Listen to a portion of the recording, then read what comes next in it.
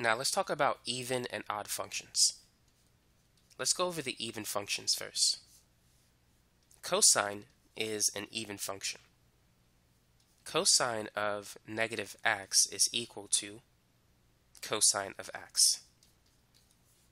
And the reciprocal of cosine, which is secant, is also an even function. Secant of negative x is equal to secant x. So those are the even functions. The other four are odd trigonometric functions. So for example, sine of negative x is negative sine x. Notice that the sign changes. And cosecant, which is the reciprocal of sine, is also an odd function. Cosecant negative x is negative cosecant, I was about to write cosine, negative cosecant positive x. Tangent is also an odd function. Tan negative x is negative tangent x. And also cotangent of negative x is negative cotangent of x. So those are the even and odd trigonometric functions. Now how do we apply this information? So let's say if we want to find the value of cosine of negative 45 degrees. Well, we know that cosine of negative x is simply positive cosine of positive x. So therefore, cosine negative 45 is equivalent to just cosine of 45. Now using a unit circle, we know that 45 corresponds to the point square root 2 over 2 comma square root 2 over 2. So cosine 45 is root 2 over 2 and cosine negative 45 is the same thing, root 2 over 2. So these are the same. Now, what about sine of negative pi over 3? We know that sine of negative x is negative sine x. So therefore, sine of negative pi over 3 is negative sine pi over 3.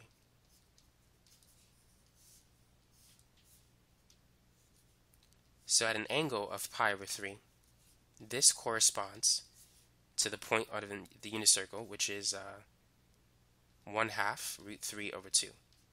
And sine is associated with the y value. So sine of pi over 3 is positive root 3 over 2, but with a negative sign in front. Sine negative pi over 3 is going to be negative root 3 over 2. And negative pi over 3 is basically an angle in quadrant 4. So this is negative pi over 3. And we know that sine is negative in the fourth quadrant. And so thus this is in agreement with the answer that we have, negative root 3 over 2. Now what about tangent of negative 3 pi over 4? Let's try that one. So tangent of negative x is an odd function. So this is negative tangent of x. So therefore, this is going to be negative tangent of 3 pi over 4.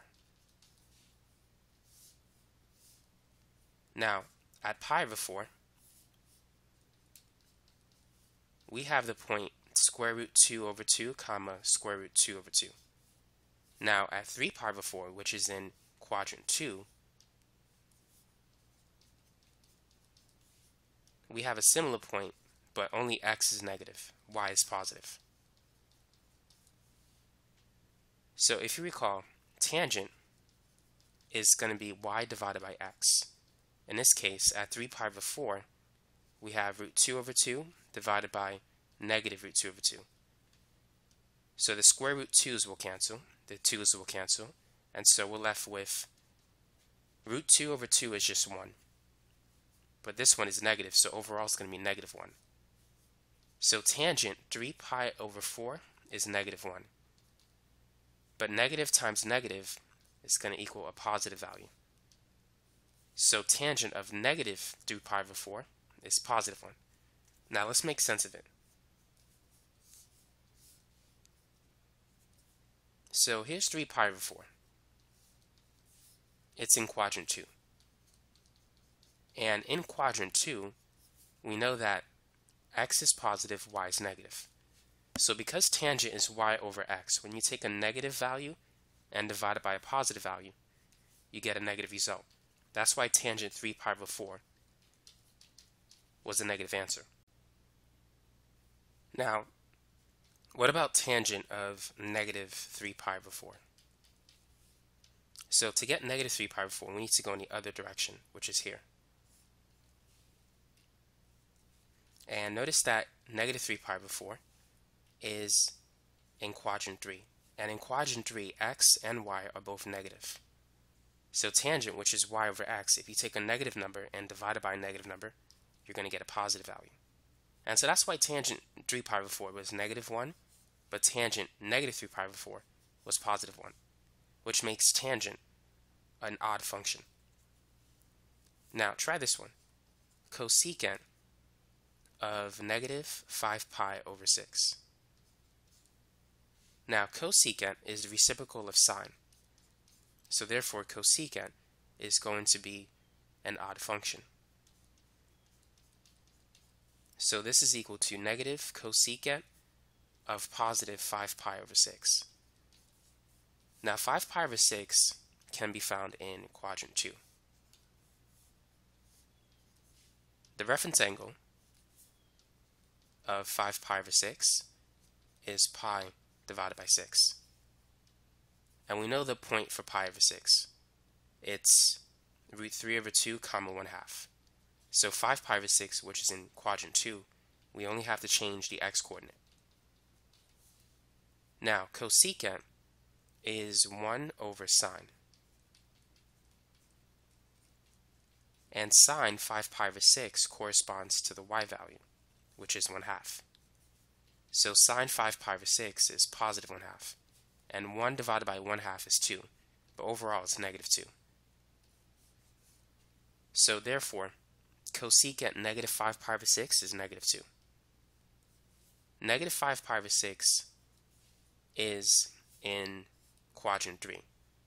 And in quadrant 3, the y value is negative.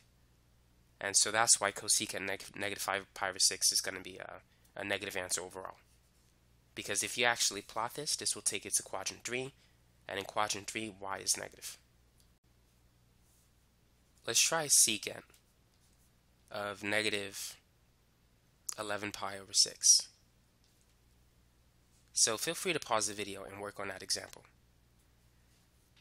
Now secant is an even function because it's the reciprocal of cosine, which is also even. So secant negative x is the same as secant x. So basically, we're looking for a secant of positive 11 pi over 6. 11 pi over 6 is in quadrant 4.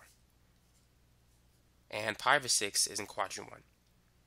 In quadrants 1 and 4, cosine is positive, and secant, which is 1 over cosine, is also positive. Therefore, our final answer should be positive.